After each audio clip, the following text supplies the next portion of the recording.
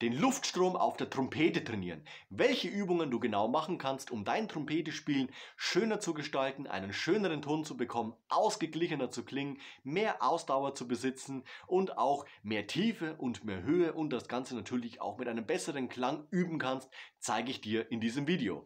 Hallo und herzlich willkommen zu einem neuen Video rund ums Trompetespielen. Mein Name ist Nico von Nico Leikam Trompetentraining. Der Luftfluss auf der Trompete ist natürlich die essentiellste Übung überhaupt beim Trompetespielen. Wieso? Wenn wir es schaffen, unseren Luftfluss angenehm ausgeglichen ins Instrument zu pusten, dann haben wir sofort einen ausgeglichenen, angenehmen Klang auf der Trompete. Wie kann ich das Ganze trainieren? Natürlich müssen wir uns immer über eins im Klaren sein, und zwar Trompete spielen ist immer eine körperliche Angelegenheit. Das heißt, ich distanziere mich zuerst mal von Mundstück bzw. Instrument und trainiere meinen Körper. Natürlich sind Mundstück und Trompete auch ausschlaggebend für Trompetenklang bzw. für die Ausdauer etc. pp. Aber ich nehme diese beiden Komponenten immer on top zum körperlichen Training. Das heißt, erst trainiere ich meine Fähigkeiten und meine Fertigkeiten, übertrage die dann auf mein Instrument und wenn mir zum Beispiel der Ton, der Ton dann zu dünn, zu kräftig, zu scharf und so weiter vorkommt, dann mache ich mir Gedanken über Instrument, und natürlich auch übers Mundstück. Also, wir trainieren unsere körperlichen Fertigkeiten. Wenn wir Luft ins Instrument pusten möchten, ist es natürlich ganz wichtig, dass der Hals, der Kehlkopf, die Stimmbänder offen und frei sind. Das heißt, es sollte kein Stimmbandverschluss sein, gegen den wir dann pusten. Auch die Lippen sollten möglichst locker und angenehm ausgeglichen schwingen können, damit es auf der Trompete natürlich auch erstens gut klingt und zweitens wir auch genügend Luft in unser Mundstück bzw. Instrument bekommen. Eine wunderbare Übung, wie ich das Ganze trainieren kann, die mache ich auch immer bei meinen Warm-up-Übungen täglich ist folgende. Ich lasse das Mundstück auf der Trompete drauf und ich nehme jetzt nicht das Mundstück an die Lippen, als ob ich einen Trompetenton spielen möchte, sondern ich lege meine Lippen oben und unten am Mundstück fest. Ich dichte natürlich ab, damit Luft, die ich gleich pusten werde, auch wirklich ins Instrument geht. Der Vorteil an dieser Übung ist, ich bekomme ein Gefühl dafür, wie viel Luft das Mundstück bzw. die Trompete in Kombination natürlich aufnehmen kann.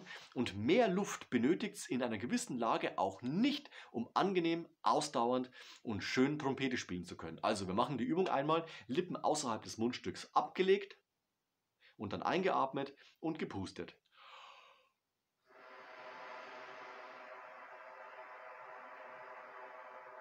Und gleich nochmal.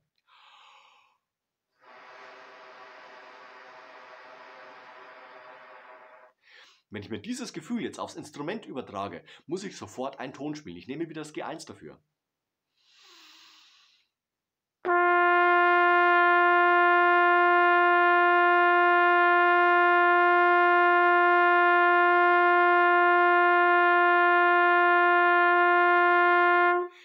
Wunderbarer Trompetenton auf dem G1.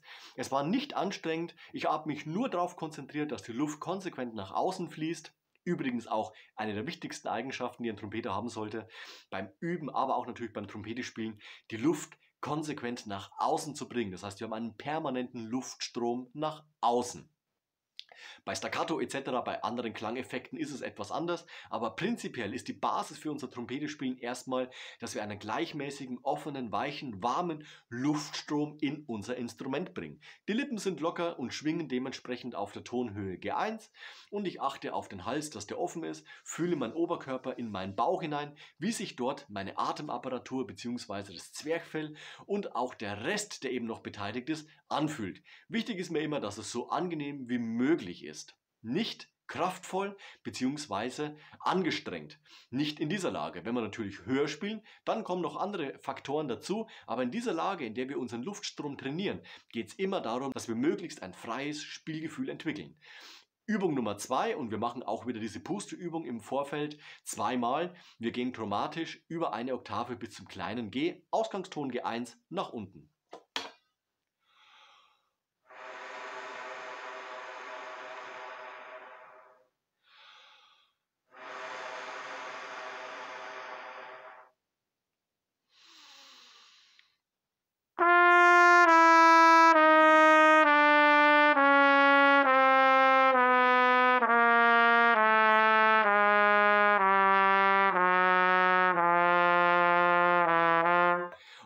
Natürlich ohne Probleme, auch wenn ich noch Luft habe, nochmal so einen kleinen Ausweichton bis zum kleinen Fiss nach unten spielen und eben wieder zurück zum G1. Wenn du diese Übungen machen würdest und jetzt mehr Luft ins Instrument pusten würdest, das heißt richtig mit Druck Luft ins Instrument bringen würdest, würdest du merken, dass der Hals enger wird, dass der Bauch sich ganz anders anfühlt und dass natürlich mit der höheren Luftmenge auch die Lippen sich etwas stärker anstrengen müssen. Wenn du nach unten gehst, sollte das nicht der Fall sein. Wenn wir jetzt vom G1 bis zum G2 nach oben gehen, wirst du merken, dass die Kompression, das heißt der Luftdruck zunimmt und dementsprechend werden sich ab einem gewissen Ton, meistens so ab C, Cis oder D2, dann die Spannungspunkte im Körper etwas verändern. Das heißt, bei mir ist es so, dass ich mehr im Bauch bewegt. Das heißt, das Zwerchfell hat etwas mehr zu tun als vorher. Wichtig ist immer, dass der Hals offen bleibt und dass die Ansatzmuskulatur auch locker schwingen kann und nicht schon zu fest zukrampft. Das heißt, auch hier möglichst locker bleiben. Wir atmen wieder zweimal durch die Trompete aus und spielen danach genau diese chromatische Bewegung aufwärts zum G2. Los geht's.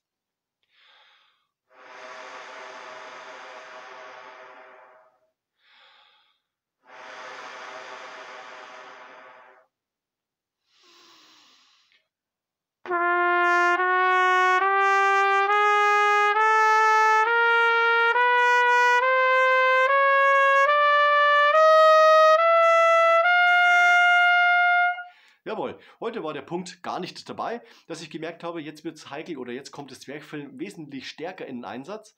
Das heißt, ich hätte noch etwas langsamer spielen können, dann hätte ich es gemerkt, wie eben dann das Zwerchfell arbeitet, damit eben noch mehr Luft ins Instrument geht, beziehungsweise ich auch die letzten paar Töne oben noch spielen kann, ohne dass mir die Luft ausgeht.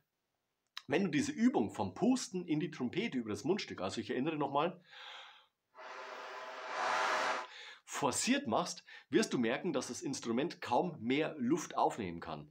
Das heißt, du benötigst eigentlich also gar nicht diese schnelle, brutale Luft, sondern dieses weiche nach außen atmen, nach außen spielende Luft reicht vollkommen aus, um auf der Trompete ein Forte spielen zu können. Es ist aber kein forciertes, also dieses brutale Laut, sondern es ist einfach die Lautstärke Forte. Weder forciert noch zu defensiv, sondern genau diese Lautstärke und vor allem die Trompete klingt dabei noch wunderbar angenehm. Wir kommen zur zweiten Übung. Jetzt machen wir den Stimmbogen ab. Das heißt, wir haben ein offenes Mundrohr an dieser Stelle. Und wenn wir natürlich möchten, können wir diese Ausatemübung auch hierbei machen. Wichtig ist für mich jetzt, dass wir auf dem Mundrohr bassen.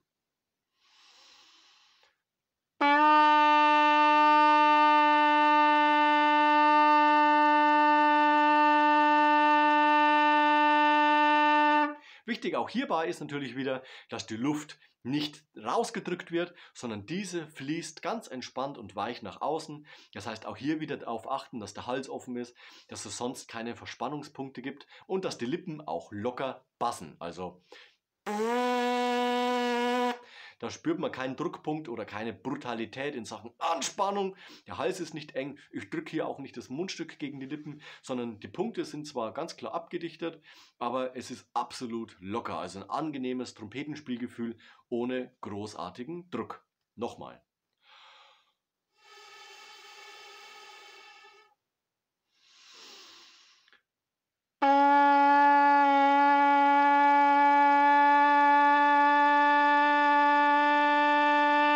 Versuch immer den Ton einigermaßen auf Intonation zu halten, nicht abfallen oder steigen zu lassen. Wenn du Hilfe dafür benötigst, dann stell dir doch einfach dein Stimmgerät hin und halte es auf dem Pegel, auf den du eben losgelegt hast. Als nächstes gehen wir wieder mit dem Mundrohr auf unser Instrument, das heißt der Stimmbogen ist wieder eingesetzt. Und wir starten jetzt etwas tiefer, das heißt auf dem C1 und wir spielen aufwärts. C-Dur-Tonleiter und zwar erstmal bis zum C2, dann atme ich, mache wieder meine Pustübung, die ich eben mit dem Mundstück gerade eben euch schon gezeigt habe und spiele danach nach oben bis zum C3. Immer darauf achten, sobald ihr merkt, dass ihr eng werdet, dann habt ihr eure maximale Range erhalten und dementsprechend spielt lieber wieder nach unten oder brecht bei diesem Ton ab, atmet wieder, macht eure Übungen und versucht es noch einmal dann bis zu diesem Ton, wo ihr gerade eben aufgehört habt. Los geht's!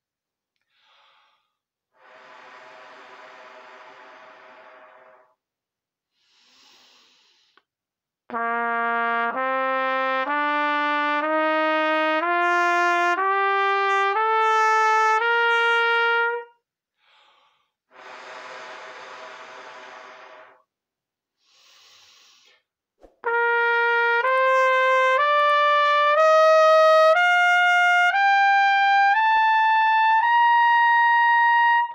Bin nicht lauter geworden, sondern habe genau diese Lautstärke versucht beizubehalten. Also ich habe jetzt nicht auf Biegen und Brechen Luft ins Instrument gepowert, dass ich ja diesen Ton C3 erreiche, sondern ich habe mich nur auf mein Körpergefühl konzentriert. Es hätte jetzt auch sein können, dass zum Beispiel der Ton H oder C einfach wegbrechen, weil ich vom Ansatz her zu locker bin. Aber dadurch, dass ich mich darauf konzentriert habe, wie mein Körpergefühl ist, hat es am Ende dann ohne Probleme und zwar sehr, sehr locker dafür gereicht, dass ich oben beim C3 angekommen bin. Wenn du vorher schon merkst, dass du nicht weiter nach oben kommst, zum Beispiel beim G, beim Ass, beim A und so weiter und so fort, überhaupt kein Problem, dann trainiere diese Übung erstmal anhand dieser Töne bis zu deinem Spitzenton. Aber wie gesagt, achte immer darauf, dass eben alles so locker wie nur möglich vonstatten geht und dass du oben auch nicht brutalst anfängst, das Mundstück gegen die Lippen zu drücken oder komplett verspannst und irgendwie die Töne aus der Trompete versuchst zu drücken. Es geht hierbei, dass wir uns aneignen, ein Körpergefühl zu entwickeln und vor allem auch die Routine und somit auch die Sicherheit, dass wir diese Töne in unserer extremen Lage, also wenn es bei dir zum Beispiel ein G ist, eben diese Lage oder natürlich auch dementsprechend höher, zu trainieren und vor allem die Sicherheit zu gewinnen, dass wir es auch spielen können. Und somit fällt dann auch so dieser Stressfaktor weg, dass wir diesen Ton dann nur noch mit engem Hals spielen können oder mit viel, viel Luft ins Instrument powern. Wir bekommen dann dadurch eine Routine und können dann immer wieder auf diese Funktion des Körpers, die wir uns jetzt angeeignet haben, zurückgreifen, damit wir eben solche Töne möglichst schön und entspannt auch spielen können. Und dadurch verbessert sich natürlich auch deine Ausdauer, weil du nicht immer bis an deine Kraftreserven gehst, sondern immer wieder auf deine Fertigkeiten zurückgreifen kannst und auch punktuell einsetzen kannst. Alles andere läuft wesentlich entspannter und lockerer und somit haben wir auch insgesamt mehr Ausdauer. Wenn es um Luftflusstraining geht, gibt es natürlich immer wieder auch unterschiedlichste Trainingsgeräte. Ich habe aktuell jetzt hier gerade zwei. Zum einen ist es der Schlauch, die hilft uns immer dann, wenn wir merken, dass der Hals eng wird, nehmen wir uns einfach ein Stück Schlauch, atmen durch dieses langsam ein und aus und wir merken, okay, jetzt ist der Hals, der Kehlkopf offen und wir können ohne Probleme auch atmen. Also der Schlauch für einen offenen Hals, ganz wichtig. Dabei nicht anfangen, wie irre zu pumpen. Das bringt uns nur Schwindel, beziehungsweise dann erstmal eine Auszeit, weil wir dann nicht sofort aufs Trompete spielen umschwenken können. Der Flowball, also das zweite Trainingsgerät, was ich hier habe, ist auch immer ganz nett, weil es einfach den Luftstrom visualisiert. Das heißt, wenn wir reinpusten, schwebt der Ball dementsprechend auf einer bestimmten Höhe.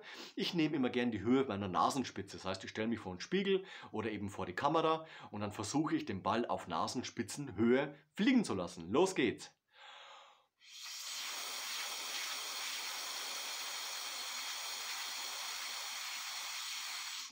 Warum Nasenspitzenhöhe? Weil bei dieser Nasenspitzenhöhe habe ich genau das Gefühl, das ich gerade eben auf der Trompete hatte, nicht forciert pusten zu müssen. Und genau dieses Gefühl hatte ich eben auch auf der Trompete, wie ich losgelegt habe beim Ton G1. Natürlich kann ich mit diesem Gerät auch wesentlich mehr pusten. Das heißt, dass der Ball zum Beispiel beim Haaransatz oder zwischen den Augen schwebt. Allerdings trainiere ich dann ganz andere Punkte. Und ihr könnt es natürlich, wenn ihr so ein Teil daheim habt, einfach mal ausprobieren, wie anstrengend es ist, wenn der Ball zwischen den Augen schweben sollte, obwohl es nur ein paar Zentimeter Unterschied ist, merkt man, dass das Zwerchfell richtig powern muss.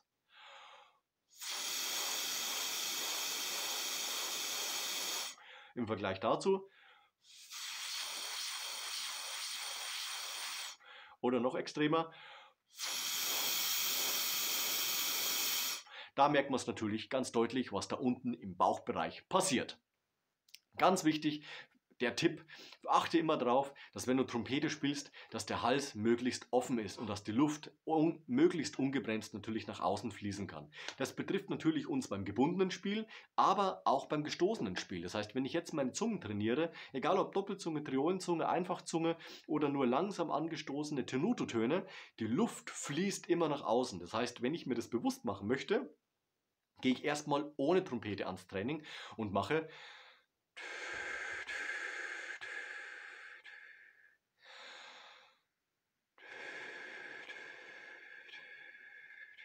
und ich merke, dass die Zunge immer nur kurz dazwischen tupft und sozusagen die Luftflusstrennung herbeiführt. Wenn ich jetzt das Ganze auf der Trompete mache, genau das gleiche. Ich mache aber vorher nochmal meine Pusteübung.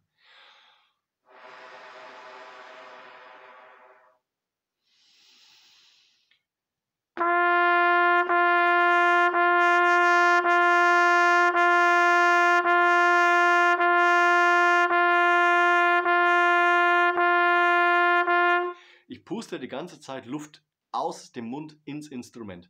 Nur die Zunge tupft dazwischen. Das ist ganz wichtig zu wissen. Wenn ich jetzt bei Doppelzunge oder bei Triolenzunge das Ganze mache, atme ich auch permanent aus.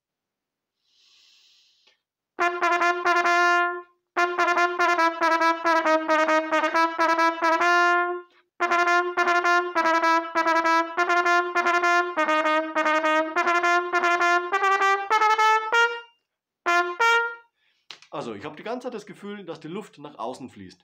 Bis auf die letzten beiden Töne, die ich gerade eben gespielt habe, diese Quarte. Pam, pim, die habe ich etwas separat gesetzt. Pam, pim, da ist die Luft dazwischen etwas zum Stehen gekommen. Aber ansonsten fließt die Luft immer nach außen. Das heißt also, wenn ich auf der Trompete bin, habe ich die ganze Zeit dieses Ausatemgefühl.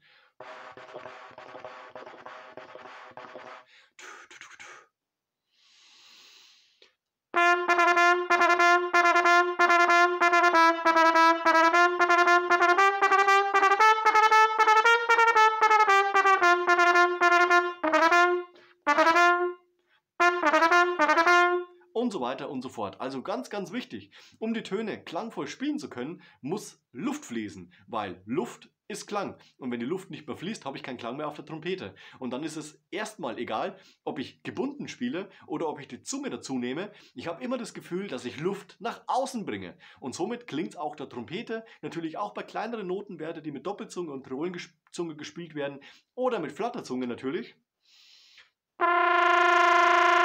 Die Luft muss fließen, ansonsten klingt nichts. Eine ganz einfache Angelegenheit. Ich hoffe, ich konnte dir mit diesem Video bei deinem Luftfluss, Luftstromtraining helfen. Schreib doch in die Kommentare, wie es bei dir klappt oder welche Übungen du noch machst, um Fortschritte in Sachen Luftstrom, Klangqualität, Ausdauer, Höhe, aber natürlich auch Tiefe zu erreichen. Das war's zu diesem Video. Lass am Ende noch ein Like und ein Abo da, das freut mich immer ganz besonders. Wir sehen uns nächste Woche zu einem neuen Video rund ums Trompete spielen. Bis dahin, ciao euer Nico.